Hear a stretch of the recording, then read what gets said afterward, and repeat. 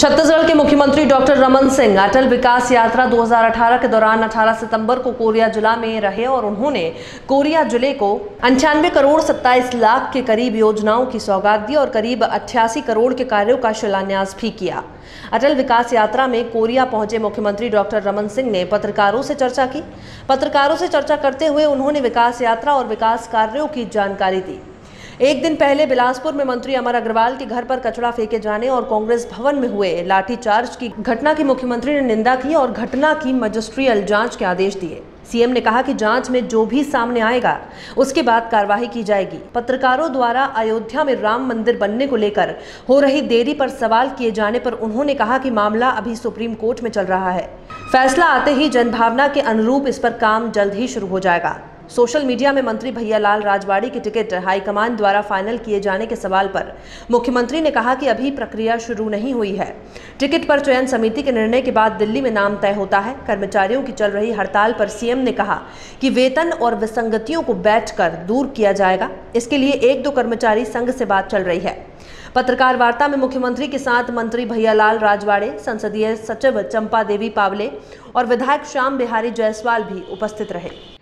First class का marks रहता है, जिसमें पास होना सम्मानजनक होता है और 50 परसेंट में सेकंड क्लास हो जाता है। तो वो, हम इस बार फ़र्स्ट क्लास 65 प्लस का टारगेट बना के चल रहे हैं और उम्मीद करते हैं कि वही रिज़ल्ट आएगा। देखिए अलग अलग सेक्टर में कुछ मांग और विसंगतियाँ रहती हैं। उसको बैठकर दूर किया जाता है चीफ सेक्रेटरी और हमारे अधिकारी बैठकर उसका निराकरण भी करते हैं। काफ़ी हो गए हैं। एक दो और संघ है, उनसे भी चर्चा हो रही है। अधिकारियों के साथ बैठा था। यहाँ प्रोडक्शन भी बढ़ा है उत्पादन भी बढ़ा है और नए क्षेत्र में माइंस खोलने की प्रक्रिया भी जारी ये ये तो एक सरकार और आबकारी नीति का तरीका है। हमने मांग के अनुसार पहले 500 आबादी फिर हज़ार आबादी फिर डेढ़ हज़ार आबादी फिर दो हज़ार आबादी तक धीरे धीरे इस प्रक्रिया को हम आ, बड़े गाँव तक ले जा रहे हैं, जिसमें वहाँ पे शराब उपलब्ध ना हो। और दूसरा, जो आतंक और भय था एक जमाने में, कोचिया राज कहा जाता था गुंडागर्दी था। उस गुंडागर्दी को समाप्त करने की एक प्रक्रिया अपनाई है, जिसमें सीमित क्षेत्रों में बिक्री हो और सरकार के माध्यम से हो, गुंडों के माध्यम से ना हो तो एक शांति का वातावरण का निर्माण छत्तीसगढ़ में हुआ है।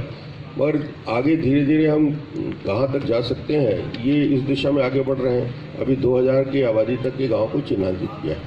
निवृत्ति के लिए चीफ सेक्रेटरी और सुप्रीम कोर्ट के बीच में हाई कोर्ट के बीच में जो मामला विचाराधीन है उसको निराकरण के संबंध में